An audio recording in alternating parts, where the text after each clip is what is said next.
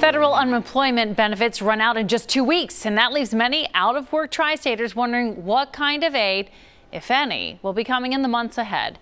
Consumer reporter John Matarese is covering the rebound with one local couple's story. With the federal pandemic benefits and those $600 a week unemployment checks scheduled to run out in two weeks, many people out of work are getting nervous. They're wondering if anything is going to replace it. Brittany Feely has a lot of time to garden this summer at her Ludlow, Kentucky home.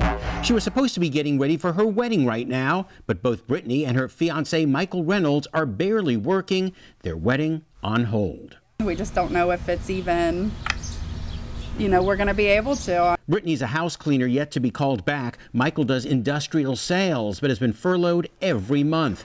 Both say they qualify for state and federal pandemic benefits. I mean, it's frustrating but neither has seen a dime yet. I waited and waited, couldn't hear, didn't hear anything. Kept calling, and every time you call, it just says that your number's already in the system. It's one thing when one person in a relationship is out of work and not getting unemployment benefits.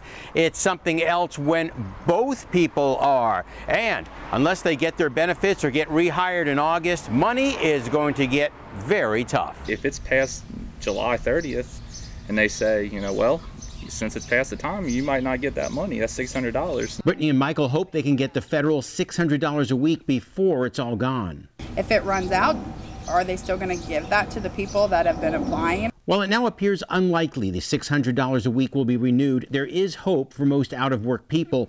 Most states are extending their state unemployment benefits, and Congress and the president say there will be a second stimulus. Brittany and Michael hope they qualify so they can finally have their wedding. Now we've passed their information on to Kentucky's unemployment officials who said they will investigate why their benefits have yet to kick in. Covering the rebound, John Matarese, WCPO 9 News.